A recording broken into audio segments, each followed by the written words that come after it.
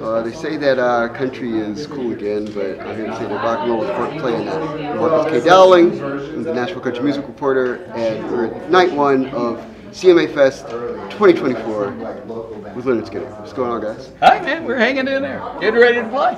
I mean, so 50,000 people. Uh-huh. They, scared, they know, man. They leaving. know, they know, they know that you know, you know, Simple Man is a thing. They know that these songs are iconic. But what happens when they hear them live? Oh, wow! I think it's it, Skynyrd's always been built on a live band. You mm-hmm. know, I mean the records were great, but come see it live. When you see the facial expressions, that tells it all. Yeah. You know, it really does. And and there's nothing but big stages in Nashville these days for you guys. I mean, there was years. Now there's CMA Fest. I feel like as Nashville is having its moment again, Lynyrd Skynyrd is right in the middle of it. So talk to me about I that. like that. I like that. But you know what? Uh, we really didn't know. But on New Year's Eve, we were like, okay, well, that's great. They invited us to come play. Yeah. And uh, it went over so well for us. And uh, Yeah, it you know what? And then they invited us here, and of course we accepted. And, and we're looking forward to it. Right. So talk to me about the energy of country music right now being so tied into rock and roll, and especially Southern rock. Oh, yeah. I think that there has always been a connection with Southern rock and with uh, country, obviously.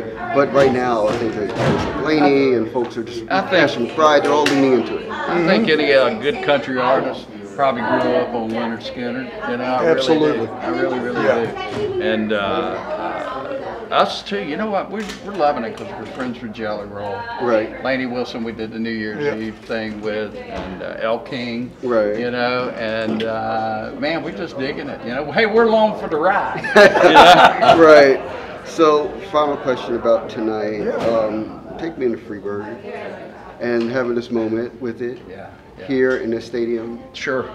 Sure. Talk to me about that. Well, you know what's curious tonight, because when we're out doing our own tours, we have a video screen, and my brother actually sings second verse way, way back, which is a very touching moment. So tonight, for the first time in two years, because we don't, we're not up for that tonight, uh, I'm going to be singing the second verse. So it's a, it's an amazing song.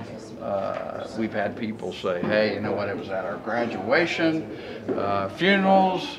And, Everything. and yeah, and it'll be around a lot longer. And Rickey's really tired at the end. I was gonna say the carpal tunnel, man. I'm over there having a diet coke or something. you? No, you know what? There's nothing like playing that, that song. Right. Especially going at the end of it, man. And when I'm done, I'm totally wasted. That's it. Yeah. It's time to go home. You know what I mean? Get some sleep.